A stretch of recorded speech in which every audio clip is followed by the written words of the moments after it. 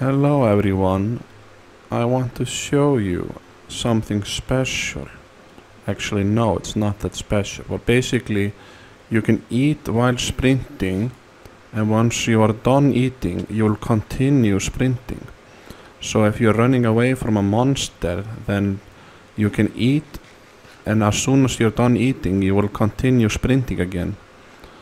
Why is that useful? Because you don't have to worry about in sprinting, slowing down, and then sprinting again.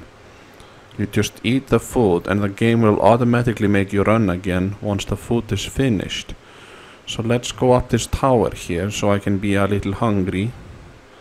I want to be a little hungry here, so I'm going up the tower. Tower makes me hungry. You wanna know why? Because I fall down. Ow, that was painful. So now you see, I will be needing to eat because I hurt my feeling. But if you sprint and jump and eat at the same time, once you finish eating, you will continue sprinting.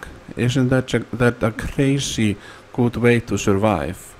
So when you are running from something and need to eat, just do it while sprinting and jumping and you will keep sprinting and jumping very fast after you are done eating, allowing you to completely win the game 10 out of 10.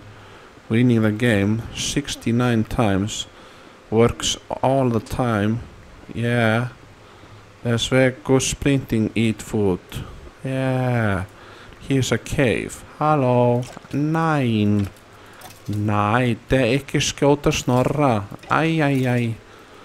So if you spri- sprint and jump and eat and don't let go of running, you will keep sprinting, many running, feeling, feeling like running. Oh no, it's a Mr. Croppy Dooby, Mr. Croppy.